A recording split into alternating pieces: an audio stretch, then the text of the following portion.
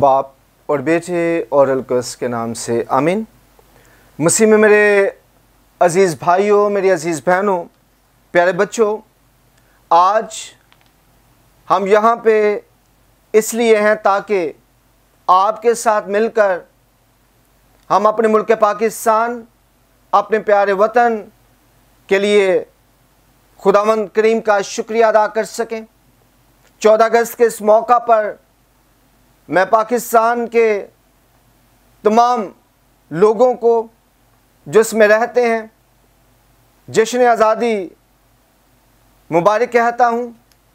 ये एक बड़ा मौका है जिस पे हम खुदावंद खुदा का शुक्रिया अदा कर सकते हैं कि उसने हमें एक आज़ाद मुल्क में आज़ादी के साथ अपना नाम लेने की तोफ़ी अता फरमाई। तो मैं शुक्रिया अदा करता हूँ खुदा बाप का, और उसके बाद मैं शुक्रिया अदा करता हूँ फजल टीवी का, जिन्होंने ये प्लेटफॉर्म मुहैया किया कि आज आज़ादी के ताल्लुक से बात की जा सके। मैं शुक्रिया अदा करता हूँ पास्टर इमरान फजल साहब का, सिस्टर महविश फजल का और पास्टर जबलून दानिश साहब का, जिन्होंने बड़ी मेहरबानी फरमाकर मुझे ये मौका दिया। और मैं उसके बाद आप सबका शुक्रिया अदा करता हूँ जो देख रहे हैं और यकीन करता हूँ कि आज आप आज़ादी को हकीकी मायनों में जान पाएँगे। आज आप आज़ादी के मतलब को समझ पाएँगे और आज आप ये सीख सकेंगे कि हकीकत में आज़ादी है क्या। तो मैं सबसे पहले ये चाहता हूँ कि आप इस बात को समझें, आप इस बात को जाने कि आज़ादी क्या है। आज़ादी होती क्या है? क्या ये कोई अमल है? क्या ये कोई प्रोसेस है? क्या ये कोई लफ्ज़ है? या क्या है? आज़ादी आप किसको कहते हैं? किस चीज़ का नाम आज़ादी है? ये बहुत ज़्यादा ज़रूरी है। जब तक हमें इस बात की समझ नहीं आएगी, हम आज़ादी को किसी भी तौर पर सेलिब्रेट नहीं कर सकते हैं। हम आज़ादी को अपनी ज़िंदगी में ला ही नहीं सकते हैं। और आज़ादी को जानने के लिए मैं ये समझता हूँ कि हमें पहले आज़ादी की डेफिनेशन आनी चाहिए। आज़ादी की तारीफ़ आनी चाहिए। कि आज़ादी क्या होती है? आज़ादी दरअसल वो हालत है। आज़ादी वो हालत है जिसमें हम ख़ास कायद जवाबत के तहत, ख़ास असूलों के तहत, ख़ास अहकाम के तहत अपनी ज़िंदगी को अहसन तरीके से गुजारने का मौका हासिल करते हैं। उसे हम कहते हैं आज़ादी। और जब कभी भी आज़ादी की बात होती है तो यही बात होती है कि हमें एक ऐसी जगह चाहिए, हमें एक ऐसा वतन चाहिए, जहाँ पे हम अपनी मर्ज़ी के मुताबिक, जो हमारा मज़हब हम पर लागू करता है, उन असूलों के तहत हम ज़िंदगी को बसर कर सकें। तो पाकिस्तान इसी बुनियाद पर लिया गया कि हम वो रूल्स, वो तमाम कायद जवाबत जिनके तहत हमें चलना चाहिए, वो शरीयत जिस पर हमें चलना है, उसके मुताबिक चूँकि हमें मौके नहीं फ्राहम हो रहे हैं, इसलिए हमें एक अलग वतन दरकार है। तो आज हम ये समझेंगे, आज हम ये जानेंगे कि आज़ादी क्या होती है। ज़रा हम ज़िंदगी पर गौर करें। तो ज़िंदगी दो पहलुओं पर है। एक तो आपकी जिस्मानी ज़िंदगी हो सकती है और एक आपकी रूहानी ज़िंदगी होती है। जिस्मानी ज़िंदगी को जिस्मानी लिहाज से देखना पड़ता है, उसकी आज़ादी को भी जिस्मानी लिहाज से देखना पड़ता है, रूहानी ज़िंदगी को रूहानी लिहाज से देखना पड़ता है और उसकी आज़ादी को भी रूहानी लिहाज से ही देखना पड़ता है।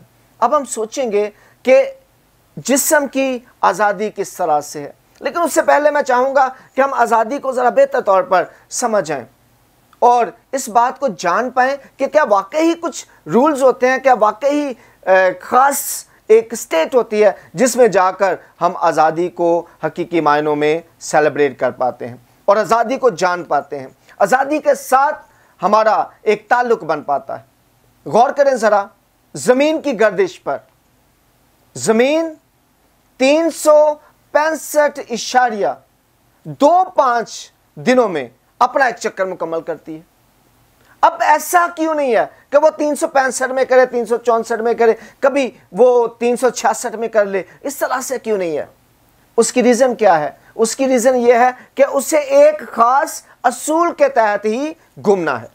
अगर वो उस असूल को नहीं अपनाती है, कबूल नहीं करती है तो वो तबाह हो जाती है। ऐसे ही आज़ादी में एक बात का ख्याल रखना पड़ता है कि आपको उस असूल के तहत चलना है जो आपको दिया जाता है। और अगर आप उस असूल के तहत नहीं चलते हैं तो यकीन कीजिए आप आज़ाद ज़िंदगी बसर नहीं कर सकते। अब मैं आपको बाग अदन में ले जाता हूँ। आप सोचेंगे कि आज़ादी का बाग अदन के साथ क्या ताल्लुक़ है? वो तो एक अलग बाग है, वो तो वो जगह है जहाँ पे हज़रत आदम को और हमारी पहली माँ हवा को रखा गया था। और वो तो खुशी का बाग है, लेकिन वहाँ तो आज़ादी ही आज़ादी थी। उसका आज की आज़ादी के साथ क्या ताल्लुक़ है? मुल्क पाकिस्तान के साथ ताल्लुक़ क्या है? और बाकी जो आज़ाद रियासतें हैं, उनके साथ उसका क्या ताल्लुक़ है? तो मैं चाहता हूँ कि हम इस बात को समझें। आज हम इस बात को जानें कि हकीकी मायनों में इसका क्या ताल्लुक़ है। अब ज़रा गौर करें। खुदा ने इंसान को बनाया, अपनी शबी पर बनाया। और बनाने के बाद खुदा ने इंसान को बाग अदन में रखा। जब खुदा ने इंसान को बाग अदन में रखा तो खुदा ने क्या कहा? कि तमाम चीज़ें आपके इख्तियार में हैं, बल्कि आप इन पर पूरा पूरा इख्तियार रखते हो। आप जो मर्ज़ी खाओ, जहाँ मर्ज़ी जाओ, जैसे मर्ज़ी रहो, आपकी अपनी मर्ज़ी है। फ्री विल दे दी। खुदा ने इंसान को। लेकिन उसके साथ साथ एक शर्त रख दी। शर्त क्या थी? शर्त यह थी कि आपने सब कुछ करना है, लेकिन ये दरमियान वाले दरख्त का फल आपने नहीं खाना। अब देखिए, आज़ादी है, लेकिन उस आज़ादी के साथ क्या है? एक असूल, एक कानून, एक कायदा, एक तरीका। आपने उस तरीके को, उस हुक्म को मानना है और अगर आप उस हुक्म को मानते हैं तो आप आज़ाद हैं। आप अपनी आज़ादी को पूरे तौर पर गुजार सकते हैं, सेलिब्रेट कर सकते हैं, उसके मुताबिक अपनी ज़िंदगी गुजार सकते हैं। लेकिन आपको करना क्या है कि आपको इस हुक्म के तहत अपनी आज़ादी में रहना है। आपने आज़ाद ज़िंदगी जो गुजारनी है, वो हुक्म के तहत गुजारनी और जब वो हुक्म तोड़ा जाता है तो क्या होता है? आज़ादी ख़त्म हो जाती है। उसके साथ देखें आप, आपको दो तरह की वहाँ पे आज़ादी है। एक जिस्मानी आज़ादी है, एक रूहानी आज़ादी है। जिस्मानी आज़ादी में क्या है? जिस्मानी आज़ादी में एक कानून है, एक कायदा है, एक शरीयत है। यानी कि हुक्म, खुदा के हुक्म को शरीयत कहते हैं। तो वो चाहे एक हो, चाहे दो हो, चाहे दस हो। तो अब क्या है? खुदा ने एक हुक्म दिया है, यानी कि शरीयत दी है कि ये आपने नहीं करना है। और अगर आप ये करते हैं तो फिर आपकी आज़ादी ख़त्म हो जाएगी। उसके साथ साथ आप वहाँ पे फजल को भी देखते हैं। और आप ये जानते हैं कि क्या होता है कि खुदा ठंडे पहर इंसान को मिलने आता था। यूँ हम दो तरह की आज़ादी देखते हैं। एक जिस्मानी आज़ादी, जो शरई आज़ादी है, जो अहकाम के तहत है, और एक अब फजल को देखते हैं, यानी कि खुदा की इंसान के साथ मुलाकात। और फजल टीवी के ज़रिए से मुझे ये खुशी हो रही है कि हम इस बात को आज समझ पा रहे हैं। अब देखिए ज़रा गौर से कि वहाँ पे आपको जो आज़ादी मिली हुई है, जिस आज़ादी को आप पूरे तौर पर सेलिब्रेट कर रहे हैं या जिस आज़ादी को आप ऑब्ज़र्व कर रहे हैं, जो आज़ादी आपकी ज़िंदगी में है, उसमें एक असूल शामिल है।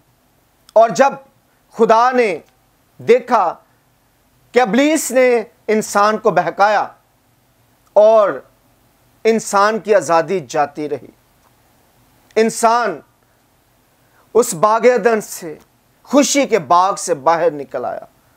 तो खुदा को यह कतई पसंद नहीं आया। क्योंकि खुदा ने इंसान को अपनी शबी पर बनाया, मोहब्बत के साथ बनाया। अब देखें, पूरी कायनात को खुदा ने सिर्फ़ कह दिया कि हो जा, और वो हो गई, बन गई। आसमान बन जाए बन गई खुदा ने कहा, सूरज हो सूरज हो गया। चाँद हो चाँद हो गया। सितारे हो सितारे हो गए। जो कुछ भी खुदा ने चाहा, वो हो गया। पानियों में मछलियाँ हो जाए, हो गई। नबातात हो जाए, हो गए जानवर हो जाए, हो गए सब कुछ बन गया। लेकिन इंसान की दफ़ा खुदा ने ऐसा नहीं किया। क्या किया? अपने हाथ से मट्टी गोंदी और उसके बाद अपनी मर्ज़ी से उसका पुतला बनाया।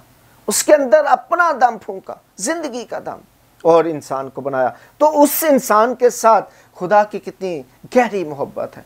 खुदा को कतई पसंद नहीं था कि इंसान गुलामी में जाए। इंसान इस खुशी के बाग से बाहर निकल जाए। इसलिए खुदा ने चाहा कि मैं इंसान को आज़ाद करूँगा। मैं इंसान को इस गुलामी से निकालूँगा। मैं इंसान को इस परेशानी से निकालूँगा। मैं इंसान को इस दुख से निकालूँगा। और खुदा ने फिर उस दुख से निकालने के लिए, उस परेशानी से निकालने के लिए अपने बंदे हज़रत इब्राहिम को चुना पहले। फिर उसके बाद हज़रत मूसा के ज़रिए जिस्मानी तौर पर, पहले हम बात करें जिस्मानी तौर पर, जिस्मानी तौर पर इंसान को आज़ादी दी। वो उन लोगों को जो खुदा के चुने हुए थे, जिन्हें, जिनके ज़रिए खुदा आज़ादी का कॉन्सेप्ट बताना चाहता था। आज़ादी की हकीकत बताना चाहता था। तो अब ज़रा देखें कि जब मिस्र की गुलामी से उन्हें निकाला गया है तो फिर क्या किया गया? मिस्र की गुलामी से निकालकर उन्हें शरीय दी गई। अहकाम दिए गए, बताया गया कि आपको अब इस ज़मीन पर जो मैं आपको अता कर रहा हूँ, जो मैं आपको दे रहा हूँ, उस ज़मीन पर आपको इन इन कायद जवाबत के तहत चलना है। ये ये असूल हैं जिन पर आपको इस ज़मीन पर चलना है। और अगर आप इन असूलों पर कारबंद रहते हैं, अगर आप इन असूलों के मुताबिक चलते हैं तो फिर आपके लिए कोई परेशानी नहीं है। ये ज़मीन आपके लिए पैदावार भी देगी। ये ज़मीन आपको अनाज भी देगी, सब कुछ देगी। और आप बहुत अच्छी और उम्दा ज़िंदगी बसर कर सकेंगे। और इसके साथ साथ जब हम देखते हैं तो यसु मसीह इस कायनात में आते हैं और आकर इंसान को ना सिर्फ़ जिस्मानी, बल्कि रूहानी आज़ादी भी देते हैं। और तुम सच्चाई से वाकिफ होगे तो सच्चाई तुम्हें आज़ाद करेगी। तो यहाँ पे क्या है? यीशु मसीह आते हैं रूहानी आज़ादी के लिए। अब बागे अदर में दो आजादियाँ हमारी गई थी। एक जिस्मानी आज़ादी गई थी, हमारे गुनाह की वजह से। एक रूहानी आज़ादी गई थी कि खुदा के साथ हमारी मुलाकात का सिलसिला खत्म हो गया था। तो खुदा ने वो दोनों की दोनों आज़ादियाँ हमारे लिए पैदा की। खुदा ने अपने प्लान में दोनों आज़ादियाँ दोबारा हमें दे दी। जिस्मानी आज़ादी भी, उसका तजर्बा भी हमें करवाया और फिर उसी कौम में यसु मसीह को भेजकर रूहानी आज़ादी का तजर्बा हासिल करने का भी इंसान को मौका दिया।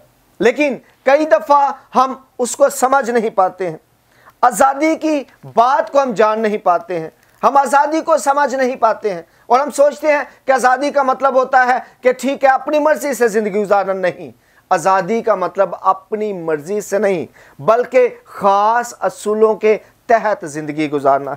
और एक आम इंसान के लिए, एक आम इंसान के लिए ये बहुत ज़्यादा ज़रूरी है कि वो इस बात का ख्याल रखे। और मसीही के लिए तो बहुत ही ज़्यादा ज़रूरी है। क्योंकि जब हम मसीही होते हैं तो इसका मतलब है कि हमें हर हाल में इस बात को समझने की ज़रूरत है कि जो भी कवानीन, जो भी शरीयत, जो कुछ भी लिखा गया है, चाहे वो ज़मीनी लिहाज से, हाकमों ने लिखा है, या आसमानी किताब यानी कि बाइबल मुकदस के ज़रिए से हमें पता चलता है, हमें उस पर अमल करने की ज़रूरत है, तब जब कि हम आज़ादी को अच्छे तरीके से अपनी ज़िंदगी में रख सकेंगे। अब हम इस बात पर गौर करेंगे। इस बात पर ध्यान देंगे कि एक आज़ाद मसीही जो है, उसके अंदर क्या क्या चीज़ें होनी चाहिए। कौन सा मसीही हकीकी मायनों में आज़ाद है? तो अगर हम लूकर सुल की मार्फत लिखी गई अंजील, उसका छठा बाब और उसकी अट्ठाईसवीं आयत से देखें तो आपको पता चलेगा कि एक आज़ाद मसीही जो है, वो किन किन करेक्टरिस्टिक्स का मालिक है? कौन कौन सी खसूसियात उसके अंदर होनी चाहिए? पहले नंबर पे खुदा यसु मसीह फरमाते हैं, लानत के बदले आप बरकत चाहें। यानी कि एक आज़ाद मसीह के लिए ज़रूरी है कि कोई अगर उसके पर लानत भेज रहा है तो वो फिर भी दूसरे के लिए बरकत चाहे। यानी कि आप किसी पर लानत नहीं बेच सकते। आप किसी का मलाउन नहीं कह सकते। बल्कि आपके लिए सिर्फ़ और सिर्फ़ बरकत चाहना लाजमी है। फिर खुदा का कलाम कहता है, दुश्मनों से मोहब्बत। दोस्तों से तो तमाम लोग ही मोहब्बत करते हैं। लेकिन खुदा का कलाम कहता है, दुश्मनों से मोहब्बत। यह खसूसियत है, एक आज़ाद मसीही की। फिर अगर आपकी कोई तहकीर करता है अगर आपको कोई हकीर जानता है तो आपने उसकी तहकीर नहीं करनी। बल्कि आपने सबको अपने से बेहतर समझना है। तो आप एक आज़ाद मसीही हैं। फिर अगर आपसे कोई कुछ माँगता है तो आपने उसे देना है। और ये सोचकर नहीं देना है कि मुझे वापस मिलेगा। बल्कि ये सोचकर देना है कि खुदा ने मुझे ये तौफीक दी है और मैं खुदा की इस तौफीक में बाकी लोगों को भी शामिल कर रहा हूँ। खुदा की इस बख्शिश में बाकी लोगों को भी शामिल कर रहा हूँ। खुदा की इस बरकत में बाकी लोगों को भी शामिल कर रहा हूँ। तो ये एक अच्छे मसीही की खसूसियात है। वो लालच में नहीं पड़ता, वो गुमांड नहीं करता, वो कोई भी ऐसा काम नहीं करता जो दूसरों के लिए नुकसान पैदा कर सकता हो या दूसरों के लिए परेशानी का सबब बनता हो। तो अब जब हम ये सीखते हैं खसूसियात को तो फिर हमारे साथ ये मामला सामने आता है कि हमारी जिम्मेदारियाँ क्या हैं। एक आज़ाद मसीही नौजवान की क्या जिम्मेदारियाँ हैं? ये बहुत ज़्यादा ज़रूरी है, क्योंकि आज हम इस बात को नहीं समझ पा रहे। अगर हम रोमियो तेरा एक को देखें तो वहाँ पे लिखा हुआ है कि आला हुकूमतों के क्या रहो, ताबेदार रहो। तो ताबेदार रहने का मतलब ही है कि जो वो कहते हैं, आपने उसको मानना है। और मैं खुश हूँ इस बात पर कि हुकूमत ने कहा कि आप इबादत नहीं कर सकेंगे। और हमने ईस्टर के मौका पर इबादत भी नहीं किया। हालाँकि वो एक ऐसा मौका था जिसमें बहुत ज़्यादा इबादत हमारी होती हैं। पाक जुमा हमने पढ़ना होता है। गुड फ्राइडे जिसे कहते हैं। लेकिन हमने वो भी इबादत नहीं की।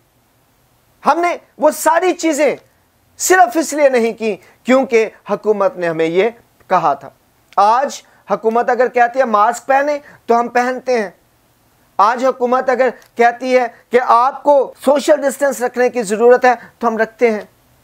लेकिन इसके साथ साथ हमें और चीज़ों का भी ध्यान रखने की ज़रूरत है। मिसाल के तौर पर आप इशारे पे खड़े हैं। आपको पता चल रहा है कि रेड सिग्नल ऑन है। आप इधर उधर देखते हैं।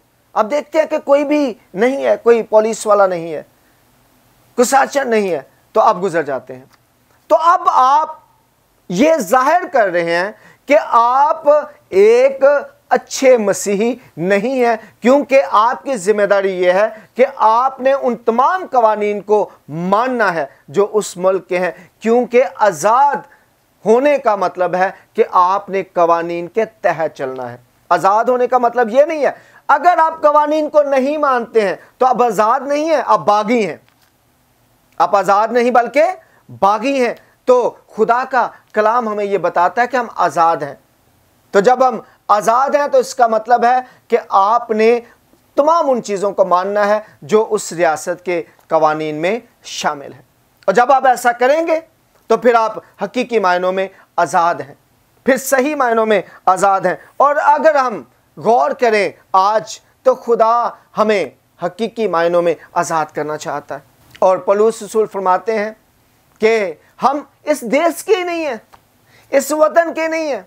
हम इसमें कराहते हैं और आरज़ू रखते हैं कि हम आसमानी देश पे चले जाएँ, आसमानी वतन को हासिल करें। और यीशु मसीह भी कहते हैं कि मैं जाता हूँ ताकि तुम्हारे लिए जगह तैयार करो। इसका मतलब है हम इस वतन के नहीं, बल्कि आसमानी हैं। तो हमें आसमानी वतन के होने के नाते आसमानी चीज़ों की आरज़ू करने की ज़रूरत है।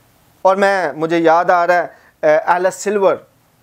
इन्होंने लिखा था humans are not from this earth यानी कि इंसान जो है इस ज़मीन का, इस धरती का नहीं है। और उसमें वो कहते हैं एलस सिल्वर कहते हैं कि इंसान इस जगह का नहीं है, ये किसी और जगह से आया है और इसने कोई गलती की कि ये किसी और प्लानट पे था। वहाँ पे इसने कोई गलती की और गलती के नतीजे में इंसान को जो है वो ज़मीन पर फेंक दिया गया। ज़मीन ऐसे ही है जैसे काला पानी की सज़ा है। और वो कहता है कि देखें ज़रा गौर करें कि चारों तरफ़ पानी ही पानी है, दरमियान में खुशकी के कुछ हिस्से हैं और उसमें इंसान बसा हुआ है। तो वो कहता है कि इंसान का ये वतन नहीं है। यानी कि साइंस, ये एक बड़ा साइंसदान है एला सिल्वर, और उसने ये साबित किया है। और वो कहता है, मेरे साथ कोई मुकालमा कर ले।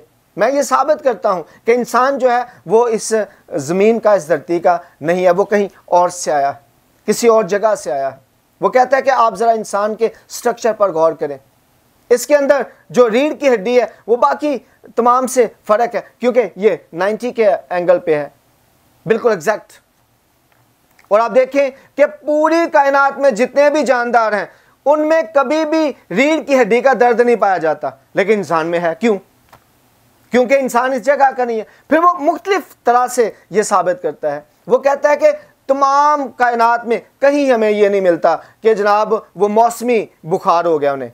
लेकिन इंसान को होता है। इंसान जो ही सर्दियाँ आती हैं तो बीमार हो जाता है जो ही गर्मियाँ आती हैं तो बीमार हो यानी कि मौसम जो ही तब्दील होता है इसे मौसमी बुखार हो जाता है। फिर ये एडजस्ट करने के लिए, माहौल में एडजस्ट करने के लिए तगोदो करता रहता है। वे ये वैसा माहौल चाहता है, जिस माहौल से इसे निकाला गया है। जिस माहौल से इसे निकाला गया, उस माहौल की तरह ये अपनी ज़िंदगी गुजारना चाहता है। तभी इसे नरम बिस्तर चाहिए। इसे सर के नीचे एक तकिया चाहिए, लेकिन जानदार देखें, वो उन्हें कोई प्रॉब्लम नहीं है दूसरे जानदारों को। फिर आप देखें कि इसे गर्मी है तो गर्मी में इसे एसी चाहिए। अगर सर्दी है तो इसे हीटर चाहिए। इसे अच्छी गाड़ी चाहिए, जाने के लिए इसे मकान चाहिए। ये घर बनाने की कोशिश करता वैसा। ये समझ ने कहा, मैं आपके लिए घर बनाने जा रहा हूँ। तो ये वैसा माहौल चाहता है। तो आज खुदा का कलाम हमें यह बता रहा है कि आप अगर उस माहौल में वापस जाना चाहते हैं, हकीकी आज़ादी को अगर आप ज़िंदगी में हासिल करना चाहते हैं तो फिर आपको ज़मीनी नहीं, आसमानी चीज़ों की तलाश करने की ज़रूरत है। फिर आपको अपनी ज़िंदगी को खुदावन यस्सु मसीह के मुताबिक गुजारने की ज़रूरत है। सच्चाई से वाकफियत हासिल करने की ज़रूरत है। उसके साथ ताल्लुक़ बनाने की ज़रूरत है। और सच्चाई कौन है? यस्सु मसीह। और ताल्लुक़ बनाने का मतलब क्या है? कि जिस तरह से यस्सु मसीह ने अपनी ज़िंदगी गुजारी, बिल्कुल उसी तरह से हमें अपनी ज़िंदगी गुजारने की ज़रूरत है। और अगर हम ऐसा नहीं करते हैं, अगर हम इस तरह से नहीं चलते हैं तो फिर हम अपने हकीकी वतन में, जिसमें हम हकीकी तौर पर आज़ाद हो जाएँगे, पहुँच नहीं सकते हैं। यह गुलामी की ज़िंदगी कभी भी ख़त्म नहीं होगी। यह गुलामी की ज़िंदगी गुलामी ही में बदल जाएगी दोजा की सूरत में। लेकिन खुदा ये चाहता है कि हम इस गुलामी से हकीकी जो आज़ादी है, हकीकी जो ज़िंदगी है, उसमें दाखिल हो जाए, ताकि हम फिर उसी तरह का माहौल हासिल कर सकें, जिस तरह का माहौल हमारे पास था, बाग अदन का माहौल। वो वाला माहौल, खुशी के बाग वाला माहौल, हकीकी मुसरत वाला माहौल, हम दोबारा से हासिल कर सकें। और से हासिल करने के लिए हमें एक बात का ख्याल रखना है कि ज़मीन पर हमें वो तमाम असूलों को कबूल करना है, उन तमाम चीज़ों को कबूल करना है जो खुदावंद खुदा ने हमारे लिए ठहराई हैं। क्योंकि बाग अदन से भी हम इसीलिए निकले थे कि हमने हुक्म नहीं माना था और यहाँ से भी हम अगर हुक्म नहीं मानेंगे तो फिर निकलेंगे तो दोजक में जाएँगे। और अगर हम हुक्म मानेंगे तो फिर हम यहाँ से, ये सज़ा से, ये सज़ा ही है, इस सज़ा से जब हम फिर निकलेंगे तो फिर जैसे जेल में कोई बंदा बंद होता है तो वो अगर कवानीन की पैरवी करता है, अच्छे तरीके से रहता है तो जेल जो हकाम होते हैं, वो उसे छोड़ देते हैं या उसकी सज़ा कम हो जाती है। ऐसे ही अगर हमने अपनी ज़िंदगी यहाँ पे अच्छे तरीके से गुजारी तो हमारी सज़ा कम हो जाएगी और हम हकीकी तौर पर हबदी ज़िंदगी के वारिस हो जाएँगे और यही यसु मसीह चाहते हैं और यही हकीकी आज़ादी है। खुदा आप सबको बरकत दे। जश्न आज़ादी मुबारक।